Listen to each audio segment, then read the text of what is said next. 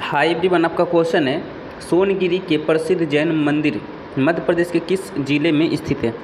Option number A है Shivpuri, option number B है टिक्कमगढ़ option number C है दतिया, ऑप्शन नंबर डी है ग्वालियर। तो आपके इस क्वेश्चन का ऑप्शन नंबर सी का इतना हो जाएगा दतिया, ठीक है? So thank you like share subscribe so thank you